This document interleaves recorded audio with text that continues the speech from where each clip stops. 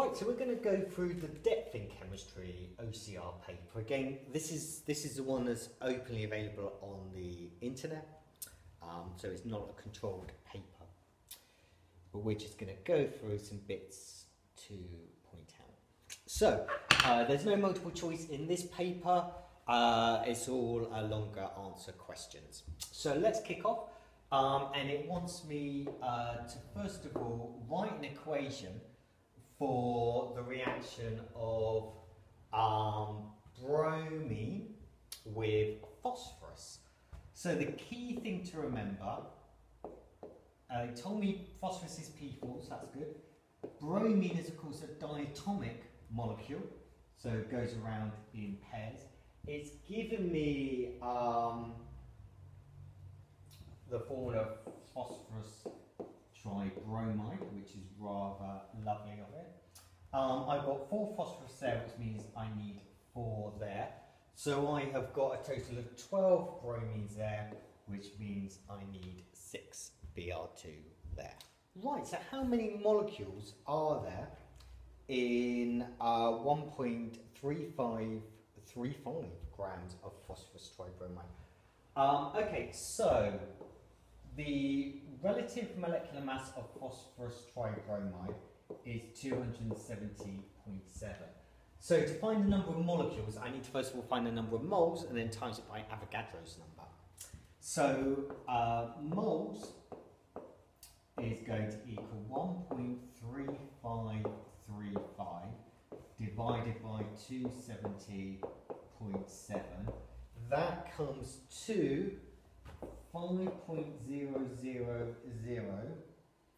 times 10 to the minus 3 moles.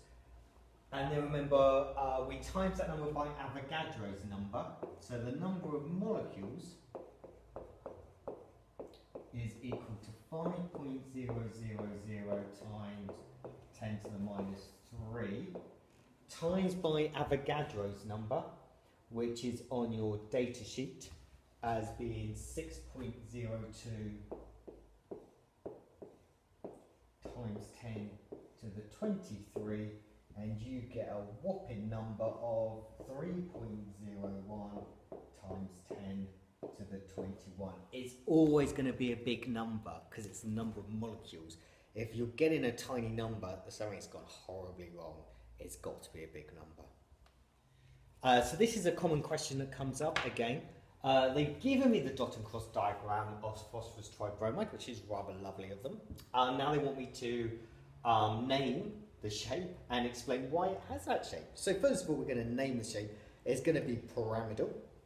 And why is it pyramidal?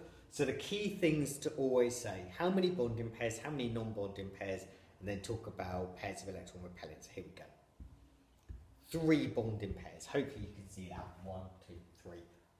One non-bonding pair. Pairs of electrons repel to get as far away as they can from each other. Lone pairs repel more than bonding pairs. So always go through that routine. Number of bonding pairs, number of non-bonding pairs, then always say pairs of electrons repel to get as far away as they can from each other. Lone pairs repel more than bonding pairs. You should be sorted. Uh, so, give me some average bond enthalpies now. So it looks like we're heading into some enthalpy. Ooh, exciting times. Um, they give me the definition, rather lovely. Why do bromine and iodine not exist in the gaseous state under standard conditions? Well, what are standard conditions? Standard conditions is going to be room temperature. So at room temperature, there isn't enough energy to break the London forces between the molecules um, effectively. So for bromine and iodine at room temperature, there isn't enough energy to break the London forces between the molecules. So it now wants me to calculate the enthalpy change formation of um, I, IBR. Okay, so here we go. What is the information? The enthalpy formation is I take the elements in their standard states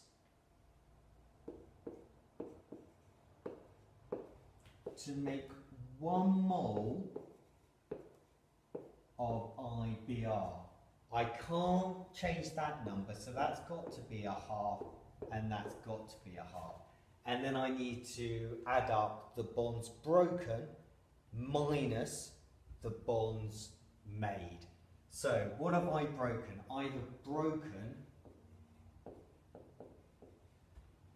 half an iodine bond, so half times 151 plus half a bromine bond, which is 193.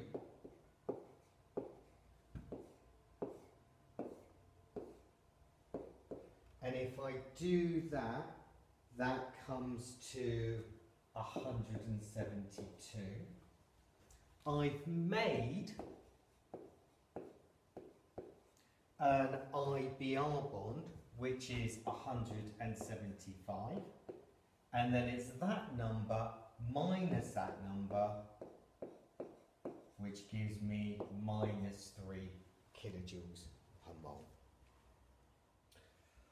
So, iodine monobromide is a polar molecule. Uh, heterolytic fission occurs to form an electrophile. State the meaning of electrophile and the formula of the electrophile formed. Okay, so if you think about it, IBR, who is the most electronegative out of those two?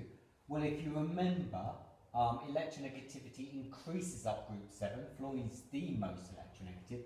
So um, bromine is going to be delta minus and iodine delta plus. So when heterolytic bond fission goes, the electrons will go to the bromine to leave me with I plus, which is going to be my electrophile.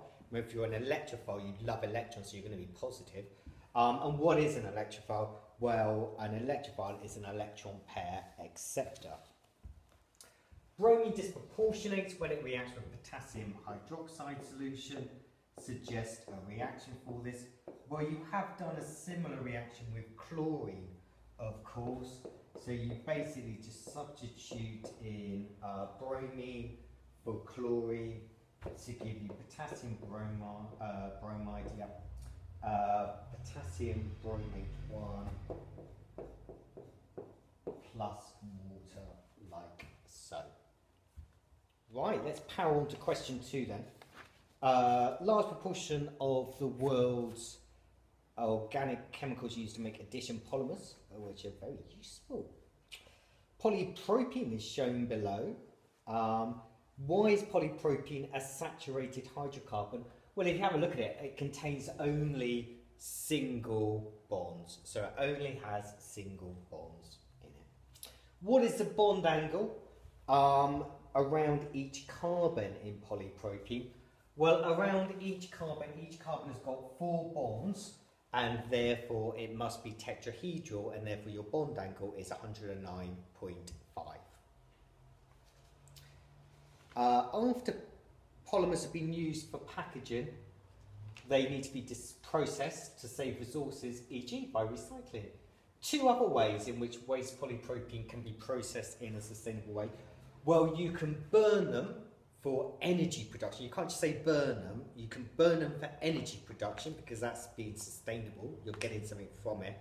The other thing that you can do is you can actually crack them so you can break them up again. If you remember from GCSE, cracking a crude oil, take a big molecule, crack it into smaller molecules. You can do the same for polymers. You can crack them up and then you can use those smaller molecules as organic feedstock for other processes. So polyethenol is used to make soluble laundry bags, and there we go. Draw the structure to represent a repeat unit. Um, okay, so uh, if you have a look at it, that's my repeat unit, isn't it, going on. So um, I need to put a double bond between there, so it's going to be, oh no, they don't want the monomer, they just want a repeat unit. So uh, it's going to be that, CH, OH, and then do your lines like so, brackets, and then your little end like so. Right, so it now wants me to analyse um, this compound. So polyethenol is unstable um, and forms a more stable structural isomer. Analysis gives the following data. Um, and it wants me to identify what have I got. Well, if you look at the IR spectrum, what do you notice? Well, there's two things to notice from this. The first one is this whopper of a band there, which is your C double bond O. So this one, C double bond O, because it falls between, just quote from your data sheet, 1640 to 1750 wave numbers. What else don't you notice? Well, you notice an absence of an OH group. There's no broad absorption here. Remember, this is CH. These are sharp. If it was OH, you see a broad uh, peak there. So the other thing to notice is there's no OH peak, uh, which uh, would appear between 3,200 and 3,600 wave numbers. So two things to know. So it looks like I've got a C double bond O in there. Let's have a look at the mass spectrum. What have I got here? Well, my mass spectrum, I've got a peak at 29 or so. So 29 coming in here. Uh, 29 could be CHO plus.